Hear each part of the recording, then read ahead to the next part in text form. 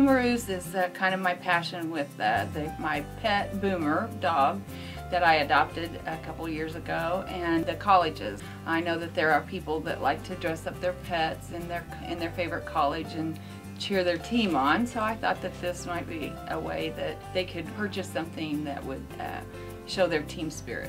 They're handmade and they're made in Kansas. I think that, that people are passionate and they also like the fact that it's a homegrown uh, business and they can uh, buy from a, a Kansas business. Barbara was real and she's she's on the job. She's right there with the clients, making sure that everything is fun. After we had the big baby shower and presented the, the product, she called me the next morning to find out how did she like it.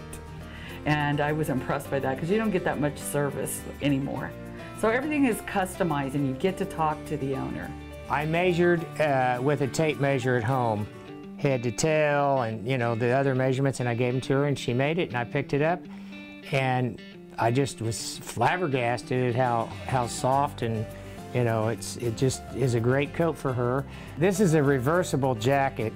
It has KU crimson and blue on one side and the other side has a baby Jayhawk. It's real cute. I thought she's very innovative and talented. I was very pleased.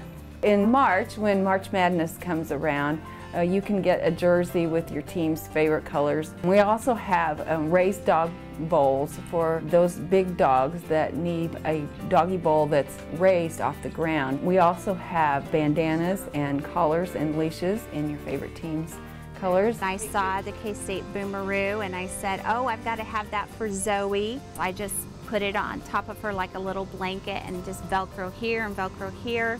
And then I, I, she also doesn't end up with the wads of hair that have to be cut out.